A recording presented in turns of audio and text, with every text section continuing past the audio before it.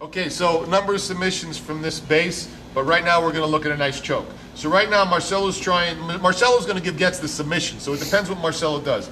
Getz puts pressure, Marcelo tries to roll out. Look, first thing Getz does is goes for a deep inside hand into the collar here. Look, open hand, get a good picture of this. The deeper the better. Look where his thumb is, almost on the label.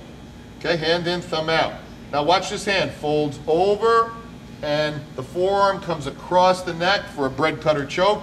Getz puts the head down, and like always in jiu-jitsu, we bring the pressure in. Okay, let's do it one more time.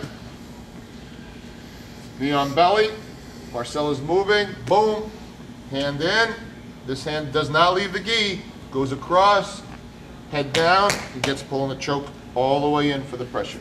Okay, we'll call it a bread cutter choke from knee on belly.